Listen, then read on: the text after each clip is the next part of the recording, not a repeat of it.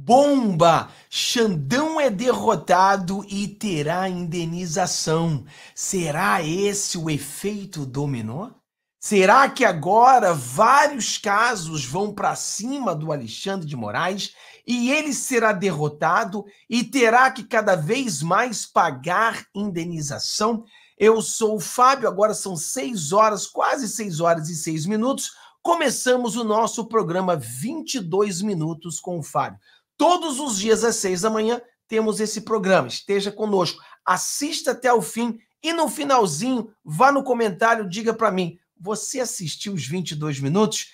Cara, isso aqui é uma ótima notícia. Imagina quantas pessoas poderão se beneficiar dos erros do Alexandre de Moraes. E outra pergunta: eu sei que quando há uma indenização, não será o Alexandre que vai pagar. Quem vai pagar somos nós, os pagadores de impostos. Mas temos que pensar numa coisa: quando um funcionário público ele está fazendo, cometendo erros dessa forma, que está custando ao Estado essa grana toda, pode ser que seja um motivo de impeachment. O que, que você acha?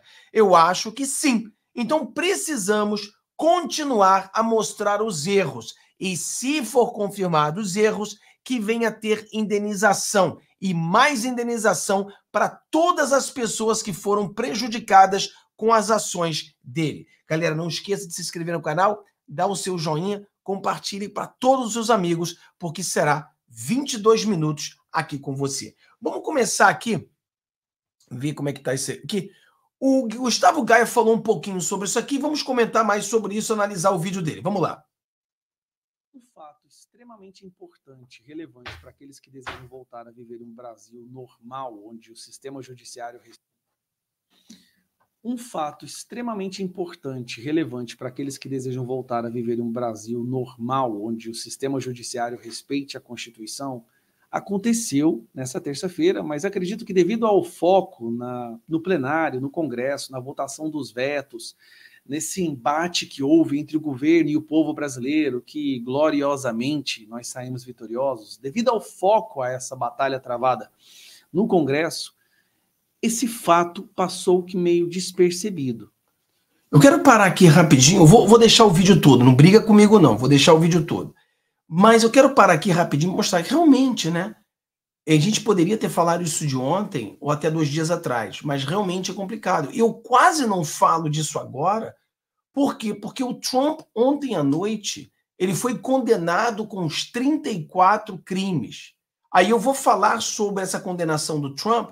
Eu vou começar uma live aqui no nosso canal todos os dias, às 9 horas da manhã aqui da Califórnia, que seria uma hora da tarde do Brasil. E nós faramos, vamos falar exclusivamente sobre a situação da política americana. Vai ser interessante, mas é outro problema, né? Eu tenho que falar do presidente Donald Trump, tenho que falar disso aqui. É muita coisa para falar sem tempo, né? Vamos lá, vamos lá, vamos analisar agora o vídeo do Gustavo. Ser destacado. E vai, e aqui vai. Gravada. No Congresso, esse fato passou que meio despercebido, mas ele tem que ser destacado. E vai, e aqui vai. Alexandre de Moraes teve talvez a sua primeira derrota na justiça. É isso mesmo que você ouviu. Nós temos acompanhado decisões ilegais, inconstitucionais, perseguição política com uso da sua posição de ministro escancarada, mas nada havia acontecido. Né? Aparentemente, a temperatura estava começando a baixar até que no Paraná houve uma decisão que comprova que Alexandre de Moraes errou e a pessoa a qual ele cometeu, recebeu esse erro, vai ser indenizada. Imagina se for só o primeiro de muitos. À matéria. Justiça do Paraná reconhece erro judicial de Alexandre de Moraes. Ministro censurou o ex-deputado estadual do Paraná, Homero Marchese, em novembro de 2022. Na segunda-feira, a 27, a primeira vara federal de Maringá, no quarto Maringá, do quarto Tribunal Regional Federal, reconheceu um erro de procedimento judicial do ministro Alexandre de Moraes do Supremo Tribunal Federal. Isso porque o magistrado censurou o ex-deputado estadual do Paraná, Homero Marchese, do Novo, ao determinar a derrubada de suas contas das suas, das suas contas nas redes sociais. Parece a esse juízo que houve um erro de procedimento, escreveu o juiz federal José Giacomo Jimenez em decisão, por não constar da decisão do STF determinação expressa de desbloqueio autorizado, exigindo o embargo de declaração. Jimenez decidiu sobre uma ação de danos morais movidas por Marcheses. O ex-parlamentar alegou que foi censurado por Alexandre de Moraes sem cometer crime. Além disso, o magistrado teria atribuído ao ex-deputado uma publicação que ele não fez. O juiz federal reconheceu dois dos três erros apontados pelo ex-deputado e determinou que a União pague uma indenização de 20 mil a Marchese. Não é possível processar diretamente um servidor público por decisões judiciais tomadas por ele. Ou seja, não dá para processar o Alexandre de Moraes, mas dá para indenizar a vítima do Alexandre de Moraes. Ou seja, Alexandre de Moraes cometeu um erro. Moraes cometendo um erro? Você tem certeza disso? Primeiro, parabéns a esse juiz. Agora, esse juiz corre o risco de ser considerado antidemocrático, golpista, fascista, receber a Gestapo do Moraes na sua casa às 6 horas da manhã e pode até mesmo ser preso. Porque a democracia relativa funciona assim, com o judiciário relativo. Mas a decisão mostra claramente que a Moraes errou, censurou e agora essa pessoa que foi censurada vai receber uma indenização. Talvez esse seja o primeiro de vários casos. Talvez esse pode ser um caminho a ser percorrido. Não dá para processar o Moraes, ele está blindado, mas dá para fazer com que as suas ações levem a prejuízo para a fazenda pública. Quem sabe assim ele vai pensar duas vezes. Se a União ou o Lula tiver que começar a pagar milhões em indenização por conta do Moraes, talvez assim o Lula vai dar, vai puxar as rédeas do seu parceiro, eu achei ótima essa notícia. É a primeira decisão judicial contrária a Moraes que escancara um erro dele, que foi um, não é um erro qualquer, gente. Censurar uma pessoa não é um errinho de trocar o nome, é um erro gravíssimo. E, por exemplo, nas decisões dos presos do 8 de janeiro, tem várias ou vários outros erros. Tem pessoas presas por serem homônimas, ou seja, ter o mesmo nome do, da pessoa que cometeu o crime, o suposto crime, mas por causa disso tem que estar preso. Tem gente presa por, situar, por nem sequer estar em Brasília no dia que aconteceu o evento. Bom, custa nada sonhar. Mas é a primeira. E se aconteceu a primeira, um caminho foi aberto. Agora basta seguir esse caminho. Já estou acionando o meu jurídico. Nós vamos processar também pelos, pelas mesmas vias, devido às decisões de censura sem fundamentação sem mostrar qual crime foi cometido, apenas decidiu deletar. A, estou até hoje deletado no Twitter por conta disso, deletar o meu canal. Isso sim vale um processo. A gente não vai parar, a gente já está vendo o governo derretendo, a, a ditadura do, do judiciário também já entendeu que não dá mais, o povo está acordando, o povo está indo para cima. Né? Moraes é o ministro do STF mais rejeitado da história do Brasil. É um começo que importa é que pelo menos a gente está começando a ver uma luz no fim do túnel. Um abraço. É, eu, eu, concordo com umas coisas do Gustavo Gai, né? Primeiro, a discordância é que ele diz que o, o Alexandre de Moraes é parceiro do Lula. Eu não concordo com isso, tá? Eu não acho que o Alexandre de Moraes seja parceiro do Lula. Eu acho que o Alexandre de Moraes é um globalista, o Lula é um comunista. O Alexandre de Moraes ele se identifica muito com a visão do Biden que não se identificam com a visão do Lula, que são pessoas diferentes. São de esquerda, mas uma visão de esquerda diferente. O Lula é comunista, o Biden é um globalista. Então, mas Fábio, por que, que o Alexandre de Moraes tem ajudado tanto o Lula? Ele tem ajudado de maneira é, é, indireta, né? Ele vai para cima do Bolsonaro, cada vez que ele vai para cima do Bolsonaro, indiretamente ele ajuda o Lula. Então, acho que isso que está acontecendo faz as pessoas pensarem assim. Então, mas isso é só uma opinião minha, tá? É, as pessoas não precisam concordar com isso, é uma opinião que eu tenho sobre essa situação. Agora, quando o Alexandre de Moraes comete um erro, cara, o, o, o Gustavo Gai deu uns exemplos, né, da pessoa do dia 8. Cara, vocês lembram do, do, do morador de rua? O morador de rua foi preso, detido, e depois de algum tempo inocentado. Eles falaram: caramba, o cara não estava nem ali, era um morador de rua, ele estava passando por ali, prenderam o cara. Então, quantos mais desses erros existem? O negócio é que tem que processar. Todas as pessoas que tiverem esse tipo de coisa totalmente absurda acontecendo contra eles, aonde eles foram presos, aonde foram tiradas sua liberdade, eles precisam processar. E aquela coisa, o processo, infelizmente, não é o Alexandre de Moraes que vai pagar. Então ele não está, entre aspas, muito preocupado com isso. Mas ele está preocupado. Por quê? Porque pode se levantar um pedido de impeachment por causa dessa gastância. Imagina um, um, um funcionário público que está custando aos cofres públicos milhões e milhões e milhões e milhões, porque todo mundo processa o cara e o cara perde, perde, perde, perde, porque o cara tem feito várias coisas erradas de acordo com a lei. Então, sem dúvida, é problemático. Então, as, precisa, as pessoas precisam, aquelas que obviamente foram é, prejudicadas com as ações ilegais, ir à justiça, na primeira instância, para ver o que vai acontecer. Agora, aquela coisa. O, o, mas, Fábio, talvez o juiz aí, que deu essa vitória ao rapaz, por esse caso, ele possa a, sofrer consequências também. Olha, no Brasil, meu filho, eu não boto a mão no fogo por nada, tá? Eu não vou chegar e dizer você, ó, oh, é impossível do juiz sofrer isso. Eu não vou falar isso porque você sabe como é que são as coisas no Brasil. Tudo acontece. Olha só isso aqui, ó. Justiça do Paraná reconhece erro judicial de Alexandre de Moraes. Ministro censurou ex-deputado estadual do Paraná, Homero é, Merchese, em novembro de 2022. Lembrando, pessoal, que esse caso aqui ele foi interessante, eu dei uma lida nesse caso aqui. Então, basicamente, o que aconteceu foi o seguinte: o, o deputado, é, o deputado estadual, ele fez uma postagem e na postagem dizia algo mais ou menos assim: a oportunidade, eu acho que foi uma oportunidade, é, eu acho que foi oportunidade, algo assim.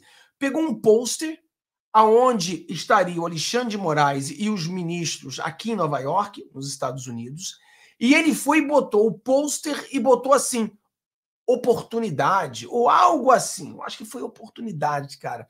Se você lembra o que foi, bota aí no comentário. Eu acho que foi opor, é, oportunidade. Eu vou ver se tem aqui na matéria, se tem eles falando sobre o que aconteceu. Peraí.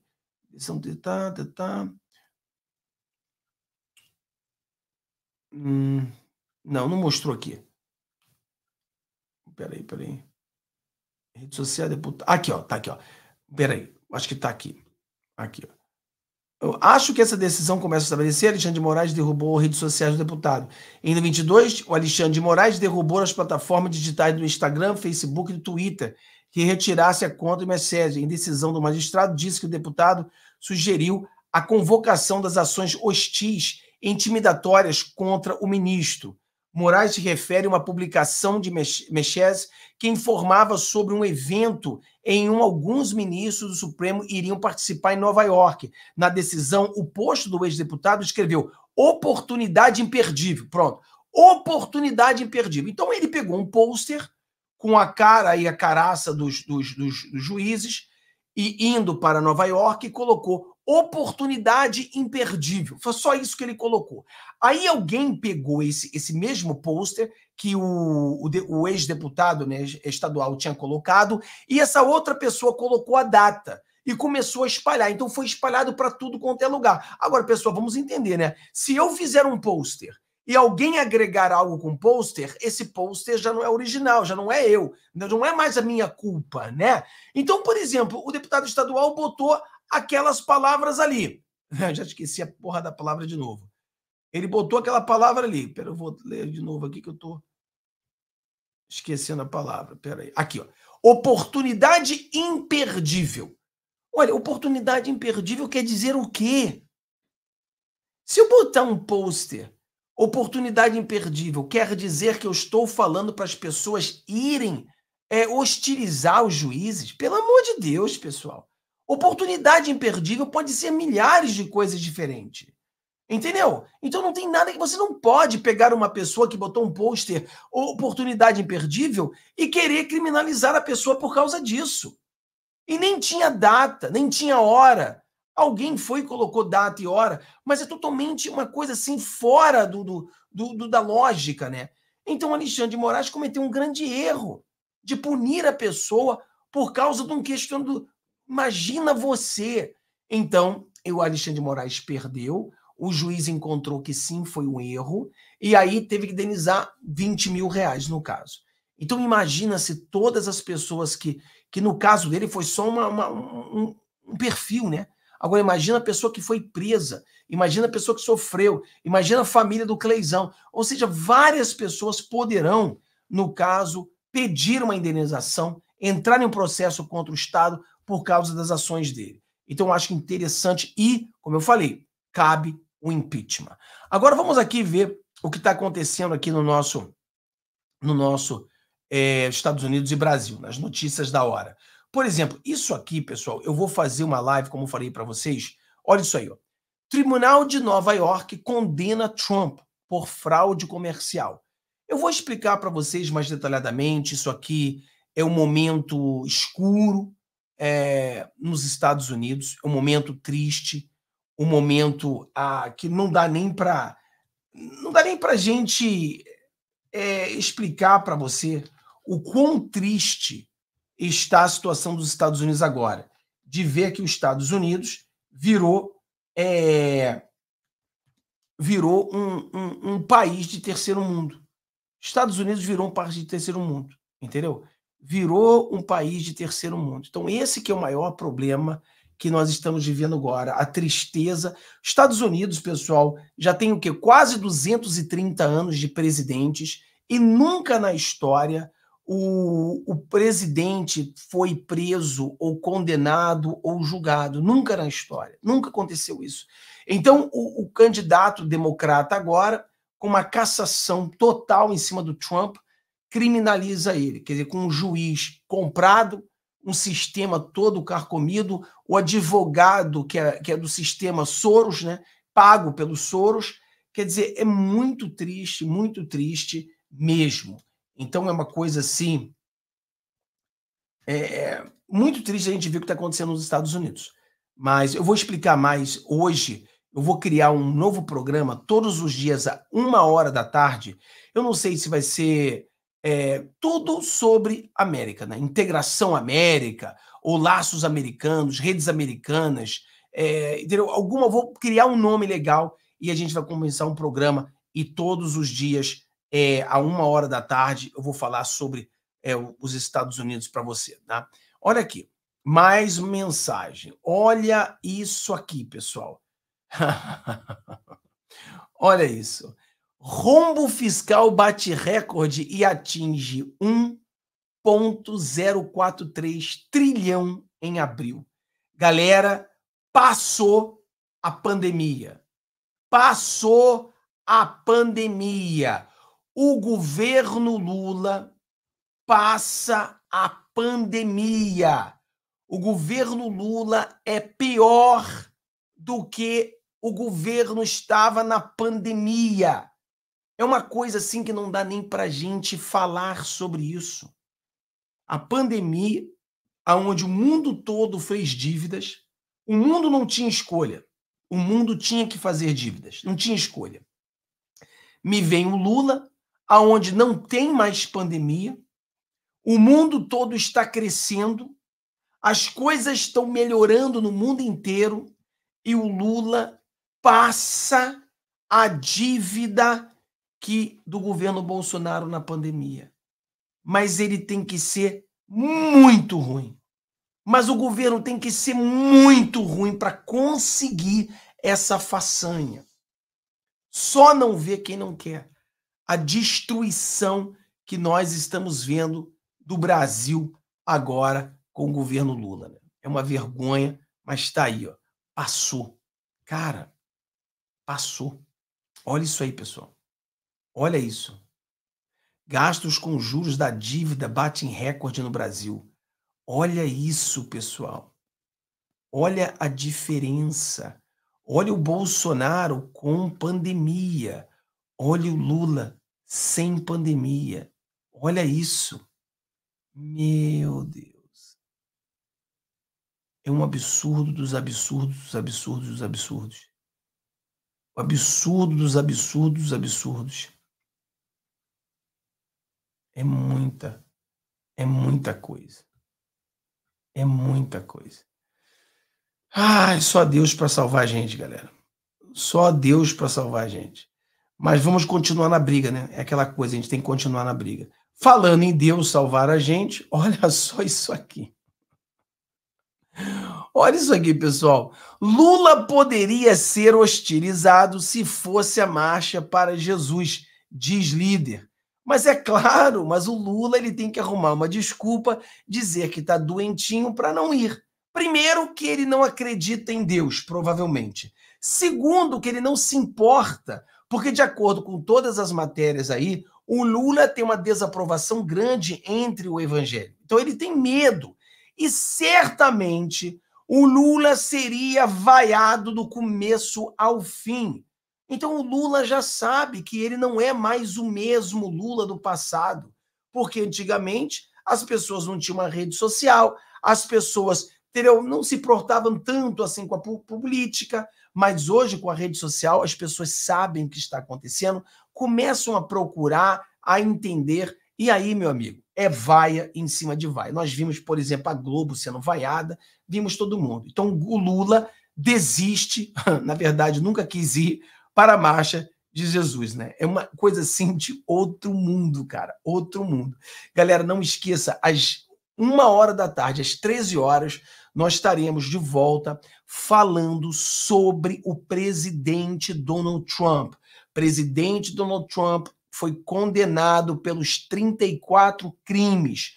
O que quer dizer isso? Ele vai ser preso, ele pode recorrer. Se ele for preso, ele pode, uma vez se tornando presidente, ele pode se auto-perdoar. O presidente, ele pode, mesmo preso, concorrer à eleição. Quando a prisão irá acontecer, irá ou não? O presidente vai recorrer ao Tribunal Superior Federal o Tribunal Superior de Nova York, o que vai acontecer. Eu explico para você às 13 horas de hoje, tá bom? Tchau, tchau, Deus abençoe a todos. Vejo vocês às 13 horas. Daqui a pouco vou ter o nosso, nosso vídeo agora, mais um vídeo daqui a uma hora, e logo o vídeo às 13. Tchau, tchau. 22 horas com o Fábio. Tchau, tchau, galera.